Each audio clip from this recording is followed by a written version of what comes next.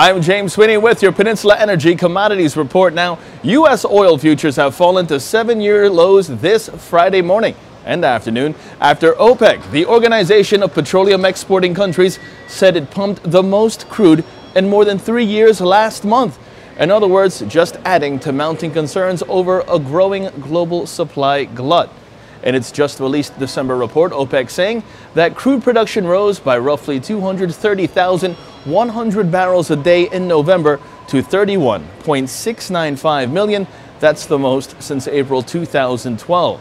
And with that revelation, U.S. crude futures for January delivery last at $36.06 a barrel. That's the weakest level since February 2009, down 70 cents or 1.9% so far for the day.